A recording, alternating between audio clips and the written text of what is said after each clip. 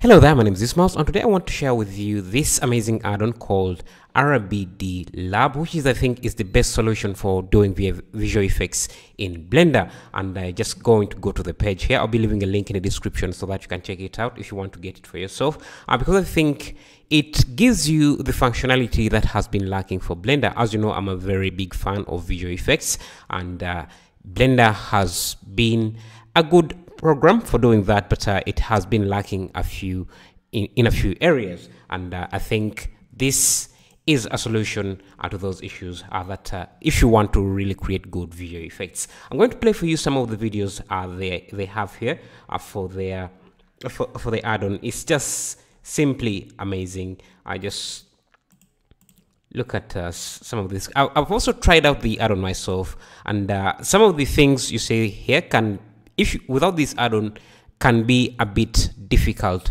uh, to do just manually. And uh, with this add-on it just makes everything super super cool. I'm just going to leave a link in the description so that you can check out uh, some of the demos here.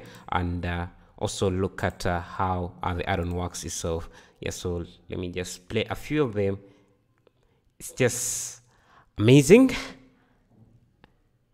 The add-on enables you to add quite amazing level of detail as you can see from the samples are they having here on their page. Yes again i'm going to be leaving a link in the description if you in case you are interested in getting the add-on yourself so that you can start using it.